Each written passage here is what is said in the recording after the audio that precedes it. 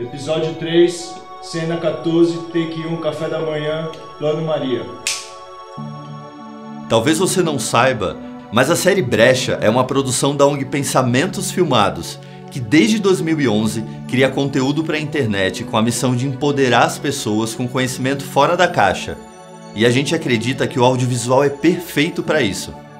E é justamente pela importância desse trabalho que a equipe da série contou com o talento de mais de 45 profissionais, estudantes das áreas de cinema, teatro e TV, que se voluntariaram para participar desses nossos 32 dias de filmagens.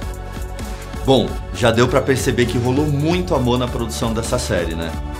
E com certeza é por isso que Brecha é tão especial.